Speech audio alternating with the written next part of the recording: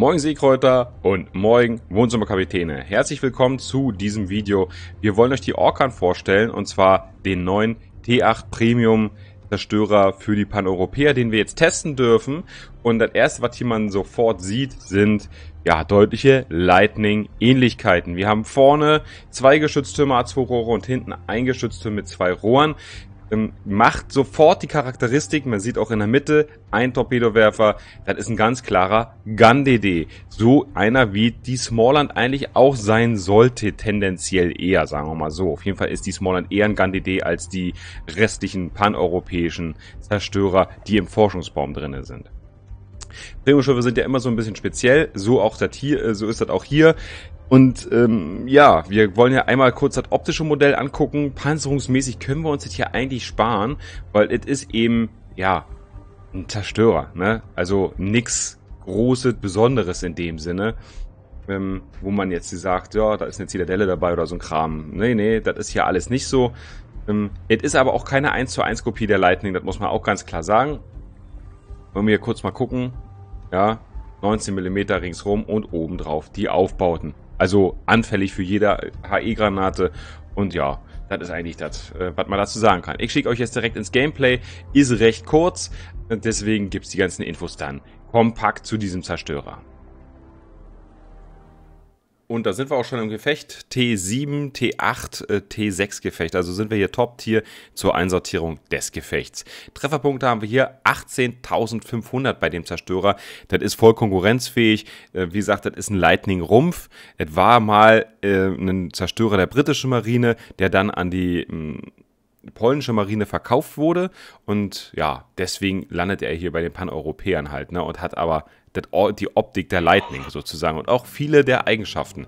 Wie gesagt, äh, die Trefferpunkte sind soweit identisch. Ich habe hier nämlich den Experten der Überlebensfähigkeit mit reingebaut, deswegen habe ich hier mehr Trefferpunkte.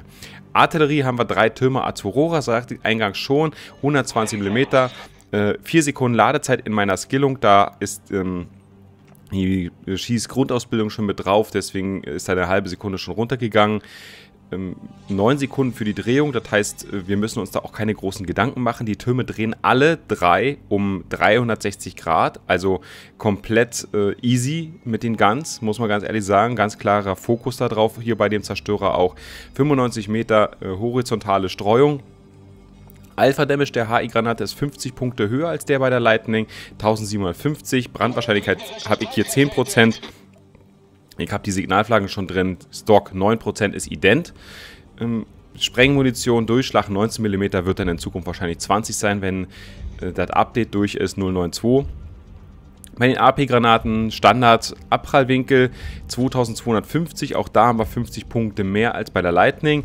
Und ja, Max Reichweite ist ein bisschen kürzer als das, was die Lightning hat. Wir haben hier 11,6, Lightning ist bei 12, ja, 774 Meter die Sekunde, HE und AP ist also kein Unterschied. Besonders haben wir hier, das seht ihr vielleicht in der Mitte, wenn ihr ganz genau hinguckt, eine Sekundärbewaffnung, da wo sonst bei der Lightning der zweite Torpedowerfer ist. Eigentlich heißt es, dass die Orkan, äh, die ja eben früher in der polnischen Marine unterwegs war, ähm, oder in der britischen und dann an die polnische verkauft wurde, oder weitergegeben wurde. Eigentlich sollte da ein Flugabwehrgeschütz sein. Die Sekundärbewaffnung, ja, hm, äh, hm, ist es ja am Ende. Das wird ja bei World of Warships anders eingerechnet sozusagen. Man kann ja Sekundärbewaffnung dann auch in die Flak mit reinrechnen, obwohl man sie als Sekundärbewaffnung benutzt. Ne? Also, weiter geht es eigentlich schon mit den Torpedowerfern. Wir haben hier 70 Sekunden Ladezeit. Wir haben nur einen Werfer mit vier Rohren. Die Torpedos schwimmen 12 Kilometer 76 Knoten sind die Torpedos schnell. Das ist ein ordentlicher Wert für diese Stufe. Wir haben halt eine Ladung sozusagen weniger als andere Zerstörer auf dieser Stufe. Flugabwehrwert kannst du eher vergessen der Wert an sich, die 27, ist zwar besser als das, was die Lightning hat, aber wenn wir uns den kontinuierlichen Schaden angucken, haben wir 85, während die Lightning 100 hat. Und bei der Lightning habe ich noch nicht mal geskillt, was ich jetzt hier vergleiche. Ja, wir haben hier zwei Granatenexplosionen bei der Orkan, bei der Lightning ist es wiederum nur ein. 5,2 ist die Reichweite, das ist auch ganz normal äh, und auch nicht anders. Ich weiß nicht, ich würde die Orkan bestenfalls gleich von der Flugabwehr einschätzen, nicht äh, irgendwie groß besser. Diese zwei, ob da eine zweite Explosion ist oder nicht, mh, hm, ich glaube, das macht dem Träger nichts aus und der kontinuierliche Schaden ist zu vernachlässigen. Ähm, macht die Flak aus, lasst euch bloß nicht erkennen. Das ist so, das, hm, die Parole, die hier so zu befolgen gilt, wenn man mit dem Zerstörer unterwegs ist. Höchstgeschwindigkeit 36,8 mit Serra Mike Flagge, 590 Meter Wendekreis, hat mir richtig gut gefallen. 3,7 Sekunden Ruderstellzeit, ihr seht's, ne? Die Manövrierbarkeit ist ganz cool, der Zerstörer ist sehr kompakt. Typisch Lightning, die Lightning macht mir auch relativ viel Spaß bei den Briten, also von daher, ja, richtig äh, launi sozusagen, macht richtig Laune. Ja, Erkennbarkeit zu Wasser 5,5 Kilometer, Top-Wert, kann man überhaupt nicht meckern für einen Gun DD. Ja, das sind nur 100 Meter mehr als eine Kagero, die auf der gleichen Sti äh, Stufe unterwegs ist und mit auf Torpedos angewiesen ist. Finde ich ordentlich, macht auf jeden Fall auch da wieder diesen Akzent zu mehr Spaß, ja, ist das einfach. Lufterkennbarkeit 2,5 Kilometer ist also einfach, euch von Flugzeugen entfernt zu halten, wenn ihr sie rechtzeitig auf der Minimap erkennt und so. Ne? Gucken wir uns schnell noch die äh, ganzen Geschichten an. Ver, äh, die Verbrauchsmaterialien seht ihr ja unten schon. Wir haben hier einen Motorboost, der 8% bringt, 120 Sekunden aktiv ist im Premium-Verbrauchsmaterial. Dann haben wir die Reparaturmannschaft, die mit der India Delta Flagge zusammen 222 Trefferpunkte wiederherstellt. Ne, ich habe ja auch den Experten der Überlebensfähigkeit geskillt. Das alles spielt da eben rein in diese Reparaturmannschaft. Deswegen ist die so gut. Wir haben 10 Sekunden, 222 Trefferpunkte, sind wir dann bei 8880. Mal kann ich gut rechnen. Äh, Trefferpunkte, die wir im Maximalfall wiederherstellen können. Und dann haben wir zu unserer Überraschung kein Nebel, sondern Radar dabei. 7,5 Kilometer Reichweite, 20 Sekunden Wirkungsdauer. Und dann sehen wir jetzt hier auch gleich im Einsatz, da kommt die T61 von Questa C um die Ecke. Er hatte mir selbst danach noch so geschrieben, nach dem Gefecht, ey, das war unfair, du hattest Radar dabei, so nach dem Motto. Hat wohl äh, wahrscheinlich nicht mit gerechnet. War auch, ähm, ja, war einfach eine geniale Situation aus meiner Perspektive. Ich konnte den Nebel der Benson ausnutzen. Er steht hier im Radar, fährt dann auch optimal Breitseite für mich noch. Wollte wahrscheinlich die Torps absetzen oder sowas in der Art oder ja, hat dann natürlich auch noch Beschuss von meinen Verbündeten dabei. Ja, jetzt geht er für mich zu, weil Radar gerade ausgelaufen ist. Jetzt hier sind, sind hier halt eben nur diese 20 Sekunden, merkt man relativ zügig. Und dann fahre ich vor, deck ihn auf, kann ihn jetzt dann da rausgunnen. Das ist, wie gesagt, eine optimale Situation. Hat ein T8DD tatsächlich ein T6DD rausgenommen. Ist ein unfairer Vergleich ein bisschen. Ja, aber ihr konntet die Funktion von diesem Radar jetzt mal so ein bisschen erahnen. Für den einen oder anderen ist das ja äh, mal was, was man äh, sehen möchte. Ja, allgemein, wie gesagt, ein sehr dynamischer DD. Ähm, macht extrem viel Spaß, weil die Türme eben super schnell durchdrehen. Also diese 360-Grad-Wende ist ultimativ stark aktuell, finde ich. Ja, die Flak, die ist eher so ein, ja, so ein echtes Problem, sagte ich eben vorhin schon. Ähm, aber ich möchte euch noch ganz kurz ein bisschen sagen, wie ich diesen DD jetzt hier geskillt habe, damit ihr so ein bisschen einschätzen könnt, wie die Leistungsfähigkeit des DDs hier ist. Also wir haben hier die Hauptbewaffnungsmodifikation drin ist typisch klar, ne? ich will die Torpedowerfer und die Hauptbatterie eben überleben. In Slot 2 Maschinenraumschutz, in Slot 3 die Zielsystemmodifikation für weniger Streuung der Hauptbatterie und die Torpedowerfer drehen dadurch auch noch ein bisschen schneller.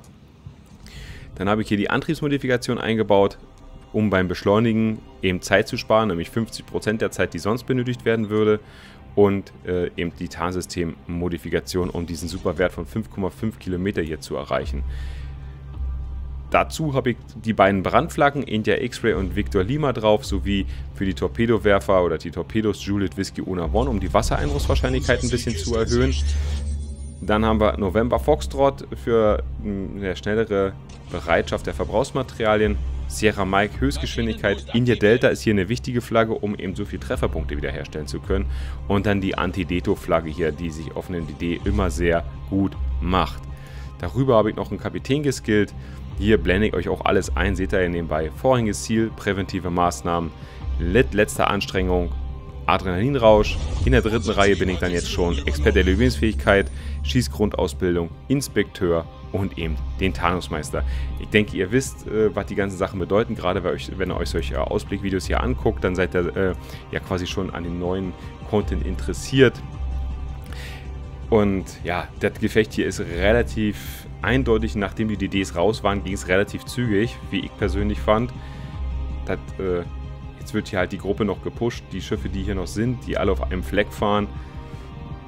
Die Colorado ist sich der Situation nicht so ganz bewusst, dass ich da, ich überrasche die jetzt. Ja, sie fährt weiter rückwärts. Die Torpedos sind saumäßig schnell mit ihren 76 Knoten. Ist halt heftig. Ja, auf der anderen Seite muss man das auch ein bisschen relativieren. Jetzt sind jetzt vier Torpedos Die Colorado wird von allen vier Torpedos getroffen, seht ihr jetzt. Wir haben nur einmal Flutung dabei und es sind am Ende ein bisschen mehr als 20.000 Schaden, die da jetzt hängen bleiben. Ja, Alpha Damage der Torpedos sind 10.700, also es ist, naja, ähm, es sind halt keine Super-Torpedos, das waren bei den, ist bei den Pan-Europäern halt äh, auch so nicht gewesen in der Vergangenheit, von daher, naja, passt schon in das Bild. Ich danke jetzt für eure Zeit, dass ihr sie euch genommen habt und hier die Orkan euch mal angeschaut habt. Wenn es euch gefallen hat, Daumen nach oben da lassen, Abo da lassen, Glocke drücken nicht vergessen. Und dann, ja, freut mich auf nächste Video, auf nächsten Livestream mit euch. Haut rein, ciao, ciao, euer Secrets Team, euer Andi.